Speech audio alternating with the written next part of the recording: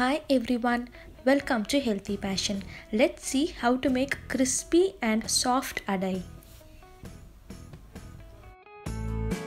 To get the crispiness in adai, add 1 cup raw rice and 1 cup idli rice and then add 1 cup toor dal and 1 cup chana dal. For getting the softness, add 2 tablespoons of urad dal. If you want your adai to be even more softer, you can add more of urad dal and 2 tablespoons of moong dal. Wash them well in water for 3 to 4 times. After washing them well, soak them in water for around 3 to 4 hours. Along with it you can add 7 to 10 red chilies as per your taste and few curry leaves.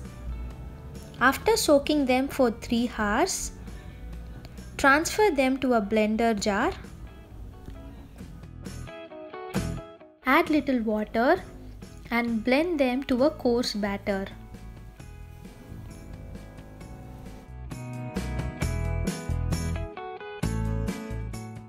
Add salt as per your taste and a teaspoon of red chili flakes. It is totally optional.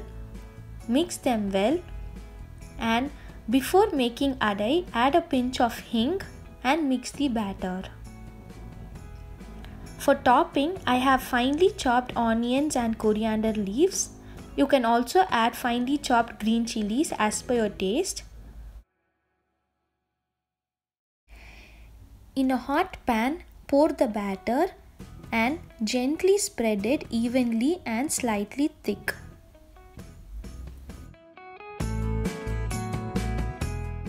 And then add the topping and gently press it.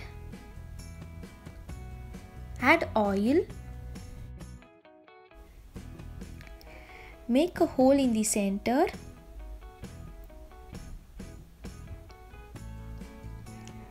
Once it turns crispy, flip it and toast the other side. Gently press it so that it is evenly cooked. Now both the sides are cooked well and transfer it. You can have it hot with jaggery powder or avial or more kuzhambu. Try this and let me know your feedback in the comment section. Do not forget to like, share and subscribe to my channel and hit the bell icon. Thank you and have a nice day from Healthy Passion.